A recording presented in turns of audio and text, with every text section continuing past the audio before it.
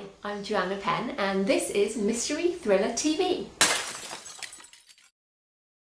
So today we're talking about what is a thriller anyway because I think it's important that we recognise the type of books that we're going to talk about on this blog. So first of all, in a thriller, we often see the perspective of the bad guy or the bad guys um, from the beginning. So we often see scenes written from their perspective and we know what's going to happen. So it's more about suspense than about mystery. So we almost know what's going to happen. The hero's got to stop it or the heroine um, has got to stop it, stop the bad thing happening. Often the stakes are very high as well. In thrillers, everything's sort of escalated. So it might be the end of the world or the end of the human race or, you know, lots of death, mass destruction, you know, big, big stakes usually. Um, it's not usually one person's life at stake, which it could often be in a mystery or one body in a mystery. In a thriller, it's often genocide or, you know, things are much bigger. It's more a sort of movie level book.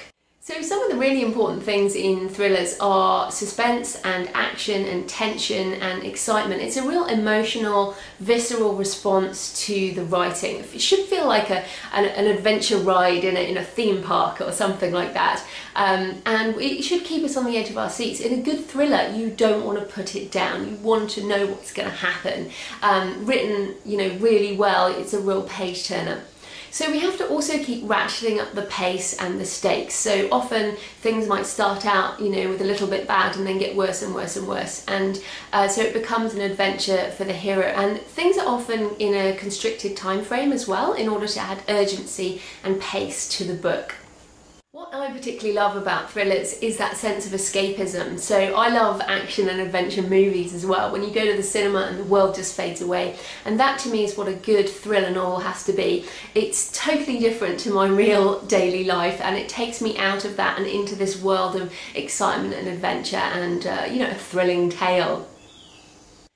There generally is death and body count in thrillers, um, but it doesn't go into the realm of horror.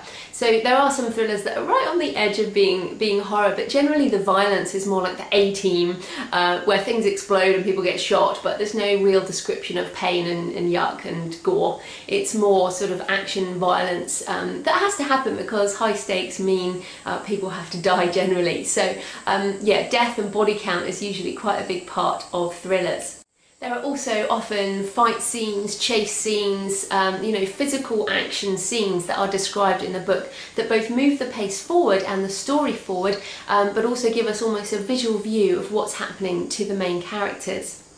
And then for the main characters, there often is a sort of archetypal good versus evil, or you know, a, a, villain who may be complex but is certainly on the side of, of evil, and and the hero. I guess there are more archetypes in a in a thriller novel. Um, there almost isn't time in a fast-paced thriller to get into the real psychological aspects, although obviously there is the genre of psychological thriller itself.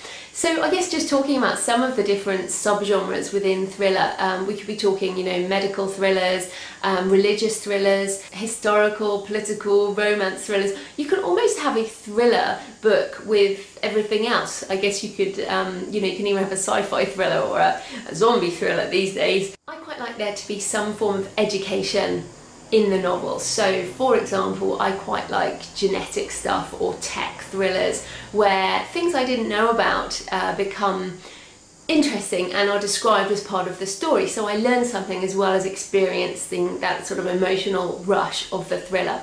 I personally particularly like religious thrillers, tech thrillers, medical thrillers, that type of thing. So that is a bit about what a thriller novel is. What do you think a thriller novel is? What have I missed? Please add a comment uh, to the video or on the blog and let me know. Thanks, I'm Joanna Penn from Mystery Thriller TV.